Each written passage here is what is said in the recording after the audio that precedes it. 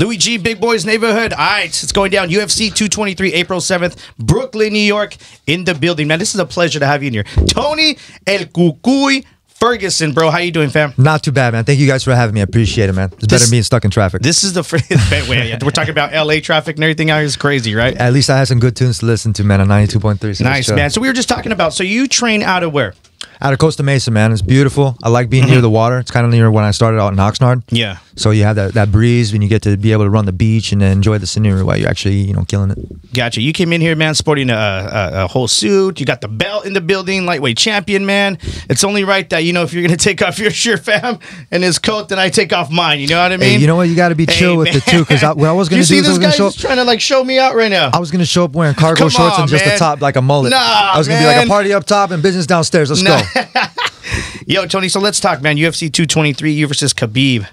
What's gonna happen, man? You excited? I'm really excited. I think a lot of people forgot that I come out of a boxing background. Uh, I used to train with Mm-hmm. Victor Ortiz out of Knuckleheads. You know, he said I hit hella hard. And Yeah. for me, I do hit hard. I learned how to hit the bags. And then in one of my fights, I broke my arm. I learned how to just box too much. Yeah. So I had to learn the rest of the game. Man, just watching you guys go back and forth and, and, and, and everything leading up to the fight. There's so much shit talking going on, man. Absolutely. Is Khabib a shit talker or are you a talker? For me, I like to stand my ground. Yeah. I'm Mexican, dude. Mm-hmm. So you know when I when I go out there and uh, I demonstrate what I have to do, and somebody pushes my buttons, I'm not a mat. This is my mat. That's what I do is when I point out there. And I've al- I've been called a lot of names. You can call me whatever you want. Mm-hmm. But like I told Khabib, I was like, it's only me and you locked inside that cage. You know, Khabib Khabib is a, great fighter. He's undefeated. Does the, the undefeated record um, does it worry you? Absolutely not. I mean, I call him a padded record. Now with a lot Ooh. of his fights, You call him a what? It's Repeat a that. pad, it's a padded record.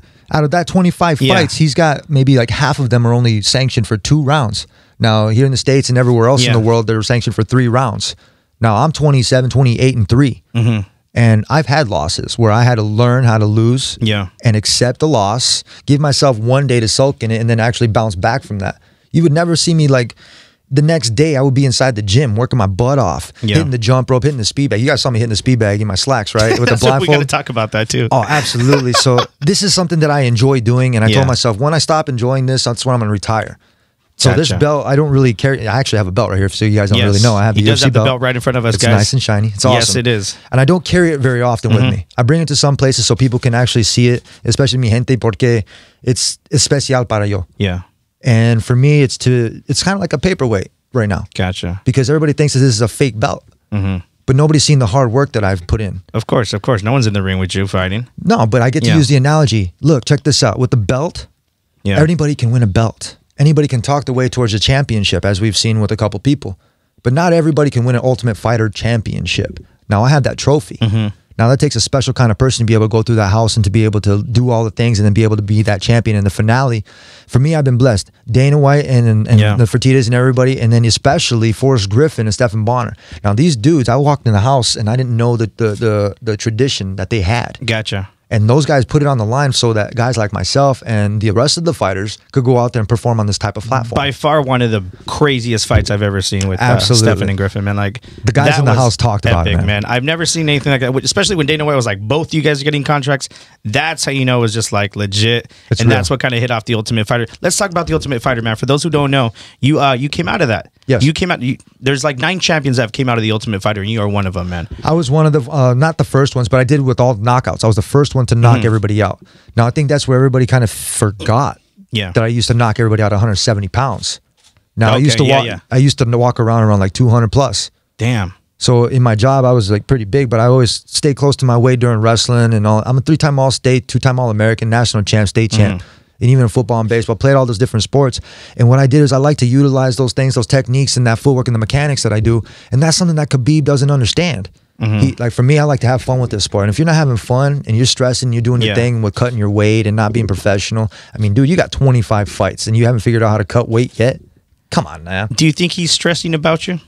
Absolutely. Now I got under his skin the other Yeah. day, and I have that ability to be able to do that with Khabib, and uh, just Which I- part? You told him you were going to embarrass him. What I, I got? I got so many Twitter quotes and so many interview quotes. Absolutely. You're I- just going to show him out his bum knee. What else? For sure. I mean, the conference call it was funny, but I was into my workout. Yeah. I was dragging a tire actually in one of my, my training sessions, and he's like, "What are you doing?" I'm like, "Well, shit, what are you doing? You stuffing your face full of tiramisu?" Because I'm out here working. I mean, the reality is, is like nothing, interviews or whatever ain't gonna Yeah. stop me. And I used that explanation when I was hitting the bag with the slacks, right? Gotcha. I was doing an interview with You're just ESPN. chilling Ma- nonchalant, just in slacks. no, I was doing an interview with Yeah. ESPN magazine. And I invited the dude. It took him two years to be able to come and I invited him. I was like, look, you have to earn your right to come and tra- like watch me train. I don't open my doors to everybody. And he, he was after it and after and after. And I told him, I was like, look, man, you've earned it. I took him to some of my places where I used to go train, and I and, and he like he was chill, man. I was like, bring your Nikes. He thought I was gonna make him run sprints, but no, I was pretty chill with it. Yeah. Took him down the coast on the PCH and showed him the beauty of it. He's from Vegas, Uh-huh. so I was like, check this out, man. California's got so much beauty to be able to be offered, but if you find yourself stuck in the gym the whole entire time, you're gonna go crazy. You're gonna go nutty. And I think that's what Khabib be doing. He's been surrounding himself around people, holding his hand, giving him structured workouts from ten to two, and then from six Mm-hmm. Gotcha. to eight, and then somebody holding his hand to like make sure he measures his food. You don't have anybody doing that for me because I paid attention to those people. I asked those questions. I'm a student in this game. Gotcha. I think I've mastered a couple of things, Mm-hmm. but even when I think I did, I don't know everything, bro. And I've accepted that to be able to grow. And I've taken admitted all those things that I thought and I shelled it like an onion, right? Like you have like some of the bad skin Yeah. on the outside. I had to get rid of certain people and certain things that were holding me back. Gotcha. Because that takes a real student to be able to realize that and to be able to grow from it. What's one of the biggest mistakes, man, that, that you've experienced in your career? Uh losing. Yeah. but learning how and i can't say it's a mistake because when you learn how to lose you Yeah. learn how to win better and it's not always about winning it's learning how to accept how to bounce off of a loss now Gotcha. with khabib he's 25 and no Yeah. he's never lost before and he's never been cut before now when people piss me off in my fights i mean i, I hate to say it like this but then i make them bloody i use my elbows and you see that that one Oh meme that i had with the thing Beyond elbows, yeah. but that's that's an art that's in Muay Thai. And so like and with Kevin Lee, he was from my alma mater. I felt I didn't feel I didn't want to hurt him. And even with Landon Vannata, I didn't want to hurt that dude either. I just want to put him away. You heard Khabib say it too. Like he was talking to Michael Johnson. He's like, just quit.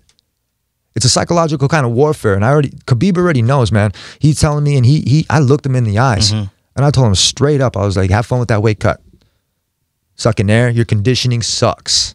At Damn. UFC 209. That dude took food off of my kid's table. He didn't show up and he robbed me by like maybe a quarter, quarter mil. Wow. So I'm thinking like, all right, dude, you got problems, man. Yeah. Because I'm Mexican, American, and you taking that food off of my kid's table, and then you want to put the blame on me?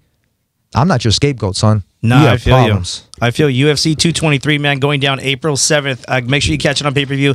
I got to ask you, too, ha- by any chance, man, uh, just in the lightweight division, I want to show you something right now, man. For sure. So, Ultimate Fighter 20, what? What, what, what, what was the year? 2011? Uh, I think so. Your Yeah. Ultimate Fighter, Ultimate Fighter 13th. I want you to. I want to show you this book right here. November 16, 2013, the St. Pierre Hendricks book, right? Oh, for sure. I want you to go to this page right here, bro. And I want you to check this out. It's a nice book. It's an amazing book. This is the lightweight division. Mm-hmm. Look at all the names on there. Can you read some of those names, man, from the from the top to the bottom? Oh, you which one? The division rankings at Yeah, the time? the division Pettis, rankings. Henderson, Melendez, Grant, Thomson, Maynard, Dos Anjos, Nurmagomedov, Diaz, Miller, Cerrone. Is it crazy that since 13 to now you are now a champion and you are now on that list if that book were to come out today? You know what? And it's really important to some people. Yeah. But I think to me too, it's when I said to myself, I was like, I was going to get everybody on that list and be able to go through it. One of my first people that I really admired and I actually went, got into this fight was GSP. Mm-hmm. Now people don't remember that, but, he was the man. Yeah, GSP was a man. So when I first started into this, I didn't get into the lightweight rankings on purpose. They, they made me go down to 55. Gotcha. I was at 170 pounds and I made all knockouts. Now I think that's where everybody forgot. And then when I moved down to 55, I had to learn a different art because these dudes got faster. Mm-hmm. You know what I mean? So being able to like to accept that, like, okay, I got to learn jujitsu now.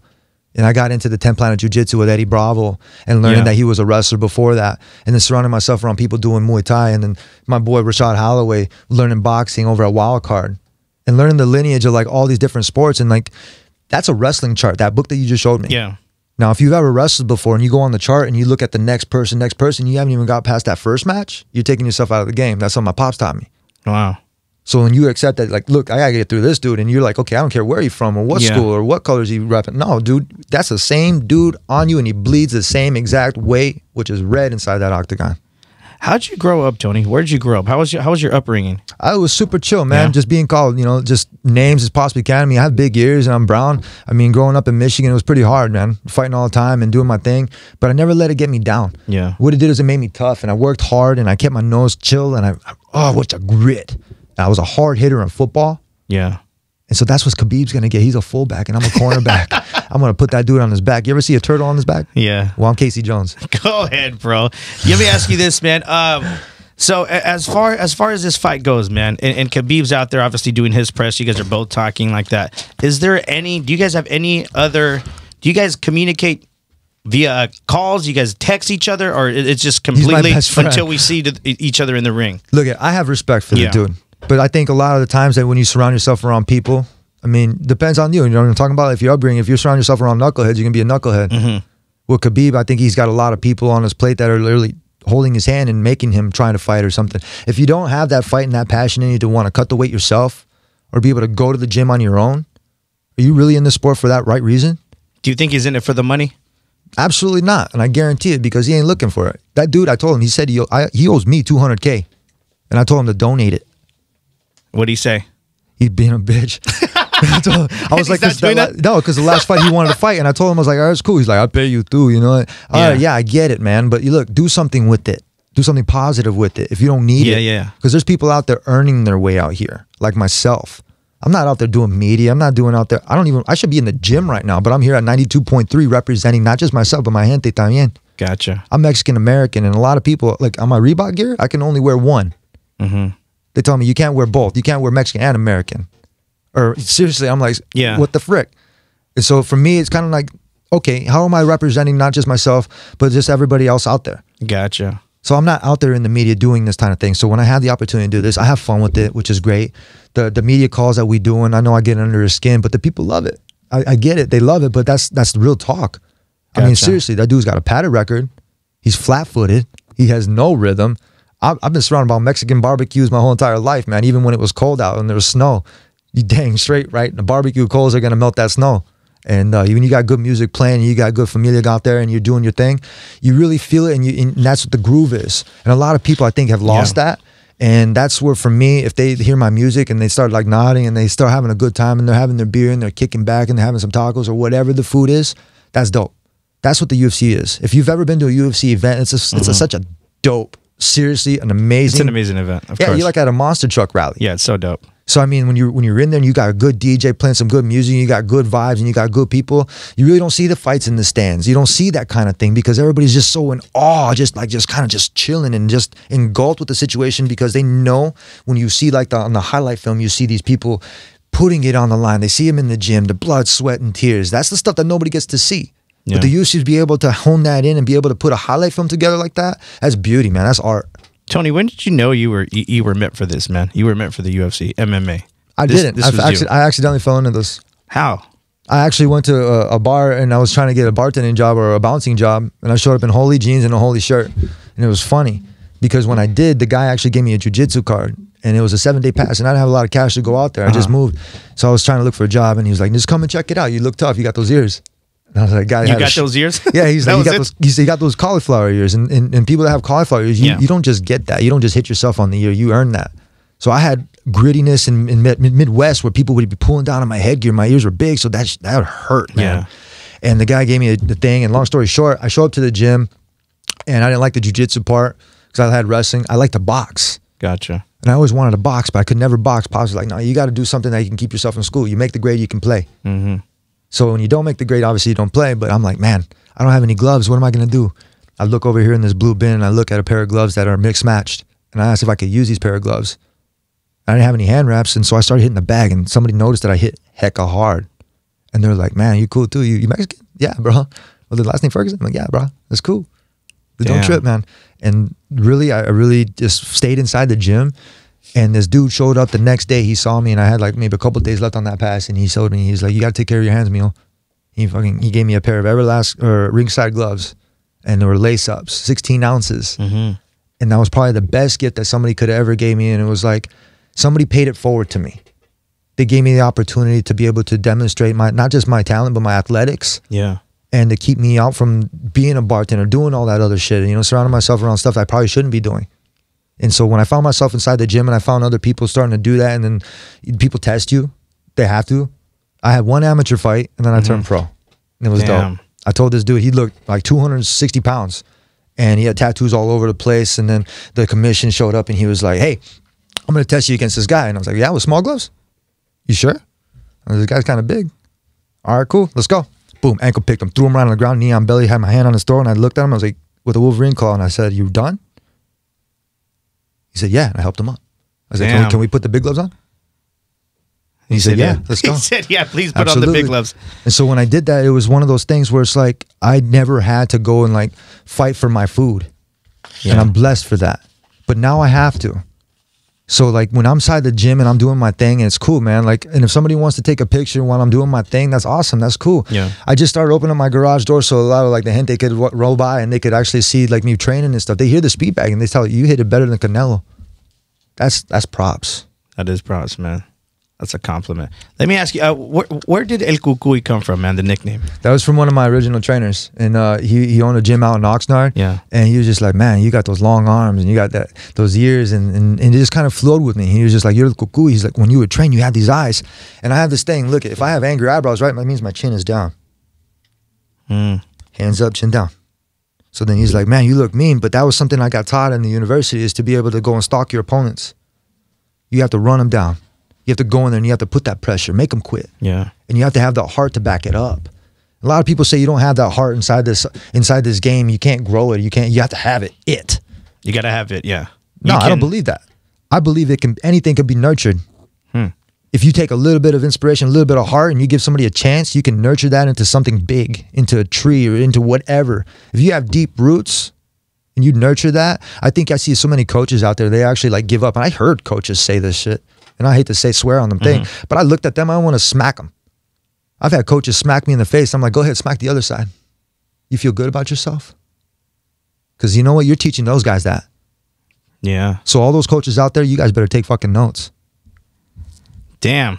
That was a lot. You seem super humble, man, super confident in yourself. I, I just want to ask you, like, what is it, man? Is, is was there ever a life changing moment where it got you to this point where you're just so humble, man, and just so like, what, what is it? Kid. You kid? I had my wife. I, I, had, I had to look after something other than myself. Family. And the one thing is, you can be so selfish in this game, and that's what I did. I had I've had people love me and then hate me. On the show, I should have said, "Don't be a deadbeat dad." You know what I'm saying? Mm-hmm. But instead, it, like, and I had to be a scapegoat for so many people, and I got so much hate. Seriously, I had so much hate, and then I got so much love. And you're only as good as your last fight. And I learned that. And then when I stopped looking at all the likes and retweets and all this other BS, that's when my numbers skyrocketed. And I was like, and I was like, dude, when you start focusing on, on the on the on the non important things, that's when you're gonna lose yourself.